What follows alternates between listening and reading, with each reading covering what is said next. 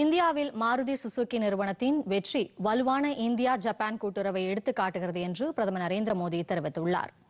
குஜராத் மாநிலம் காந்தி நகரில் உள்ள மகாத்மா மந்திரில் மாருதி சுசுகியின் நாற்பதாண்டு நிறைவை குறிக்கும் நிகழ்ச்சியில் பிரதமர் நரேந்திர மோடி கலந்து கொண்டு உரையாற்றினார்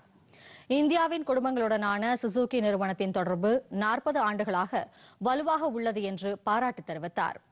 இந்தியா ஜப்பான் இடையேயான நல்லுறவு புதிய உச்சத்தை எட்டியுள்ளதாகவும் குஜராத் மகாராஷ்டிராவில் புல்லட் ரயில் திட்டம் தொடங்கி உத்தரப்பிரதேசத்தின் வாரணாசியில் உள்ள ருத்ராட்ச மையம் வரை பல வளர்ச்சி திட்டங்கள் இரு நாடுகளின் நட்புறவுக்கு சான்றாக விளங்குகின்றன என்றும் பிரதமர் குறிப்பிட்டார்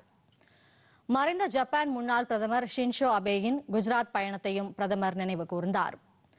ஜப்பான் பிரதமர் கிஷிடோ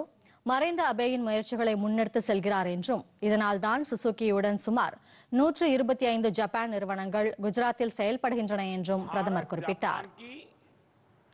मजबूत पार्टनरशिप का भी प्रतीक है बीते आठ वर्षों में तो हम दोनों देशों के बीच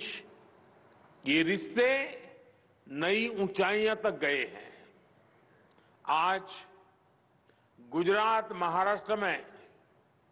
बुलेट ट्रेन से लेकर उत्तर प्रदेश में बनारस के रुद्राक्ष सेंटर तक विकास की कितनी ही परियोजनाएं भारत जापान दोस्ती का उदाहरण है और इस दोस्ती की जब बात होती है तो हर एक भारतवासी को மேலும் மாருதி சுசுகி நிறுவனத்தின் ஏழாயிரத்து முன்னூறு கோடி ரூபாய் மதிப்பிலான ஹரியானா கார் உற்பத்தி தொழிற்சாலைக்கும் குஜராத்தில் அமையவுள்ள சுசுகி இவி e பேட்டரி தொழிற்சாலைக்கும் பிரதமர் அடிக்கல் நாட்டினார்